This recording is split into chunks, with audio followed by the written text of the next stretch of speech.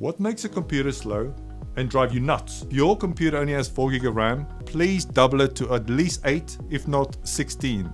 Windows 10 needs at least 8 gig of RAM just to wake up and start going. Be aware of all the applications you're running. For instance, if you're listening to Spotify or you've got iTunes installed, I promise you, your machine is going to go slower, slower, slower, slower, and then you're going to end up rebooting it often to get the speed back. So if you're not using a program, shut it down. Another reason why you might